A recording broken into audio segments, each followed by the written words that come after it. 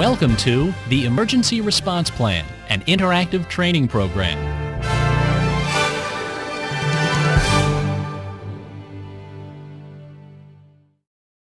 This course should be reviewed to assure that the information conforms to recommended procedures as well as to any federal, state, or local laws regarding any facility's operations.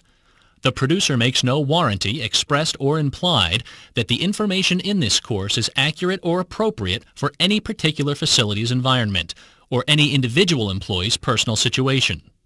Unauthorized duplication of this course is prohibited under copyright laws.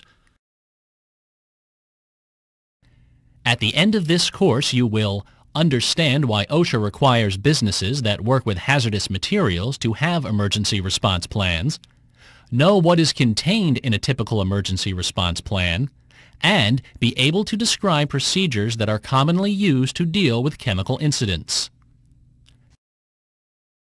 Press the forward hand to begin the introduction to the emergency response plan.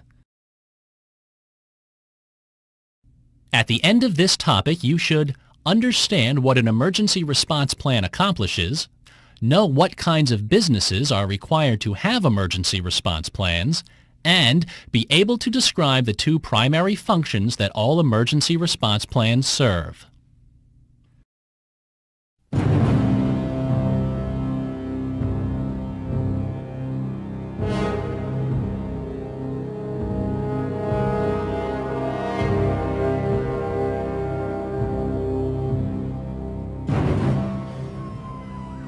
Sirens blare. Smoke rises